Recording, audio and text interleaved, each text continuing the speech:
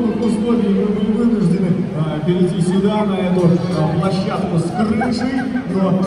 продолжаем абсолютно всех приглашаться для просмотра а, э, выступления артистов не только города Самара, но и других городов мира в целом, а, которые приехали к нам на наш замечательный фестиваль. Ведь сегодня на протяжении дня или на протяжении завтрашнего дня мы будем вместе с вами смотреть, радоваться, улыбаться ну и, конечно же, поздравляю всех приятелей фестиваля «Пластилиновый дождь».